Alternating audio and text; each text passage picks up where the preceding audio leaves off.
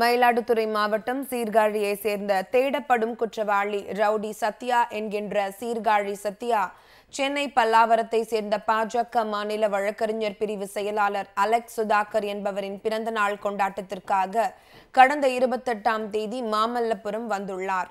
அப்போது ரவுடி சத்யாவை துப்பாக்கியால் சுட்டு காவல்துறையினர் பிடித்தனர்.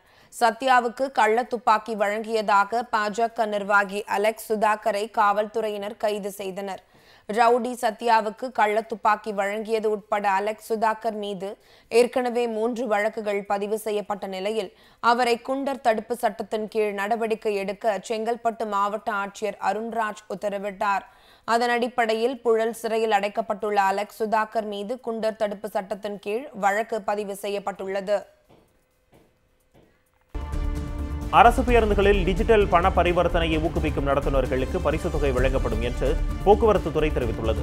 அரசு விரைவு போக்குவரத்து கழக மேலாண் இயக்குநர் வெளியிட்ட சுற்றறிக்கையில் அரசு விரைவு போக்குவரத்து கழக பேருந்துகளில் கடந்த ஏப்ரல் ஒன்றாம் தேதி முதல் மின்னணு பயணச்சீட்டு இயந்திரம் மூலம் பயணச்சீட்டு வழங்கப்பட்டு வருவதாக தெரிவிக்கப்பட்டுள்ளது. ஒவ்வொரு மாதமும் அதிகபட்சமான மின்னணு பண பரிவர்த்தனை எண்ணிக்கை மூலம் பயனாளிகளுக்கு பயணச்சீட்டு வழங்கும் நடத்துனர்களுக்கு பரிசு வழங்கப்படும் என்று தெரிவிக்கப்பட்டுள்ளது. அதிமுக முன்னாள் அமைச்சர் எம் ஆர் விஜயபாஸ்கரின் இடைக்கால முன்ஜாமீன் மனுவை தள்ளுபடி செய்து கரூர் நீதிமன்றம் உத்தரவு பிறப்பித்துள்ளது.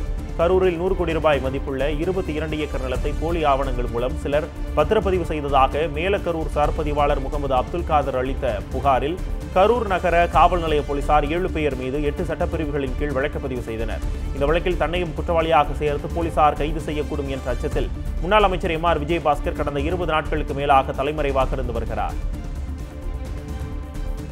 கள்ளக்குறிச்சி பகுதியில் கள்ளச்சாராயம் விற்பனை செய்து வந்த ஐந்து பேர் தடுப்பு சட்டத்தில் கைது செய்யப்பட்டுள்ளனர்.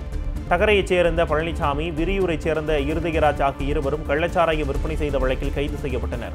உளுந்தூர்பேட்டை சுங்கச்சாவடி அருகே புதுச்சேரியைச் சேர்ந்த அண்ணாதுரை சக்திவேல் குமார் ஆகியோர் புதுச்சேரியிலிருந்து சட்டவிரோதமாக போலியாக தமிழ்நாடு அரசு முத்திரையுடன் மதுபானம் தயாரித்து விற்பனை செய்ய கடத்தி வரும்போது கைது செய்யப்பட்டனர். ஐந்து பேரும் குண்டர் சட்டத்தில் கைது செய்யப்படுவார்கள் என காவல் கண்காணிப்பாளர் எச்சரித்துள்ளார்.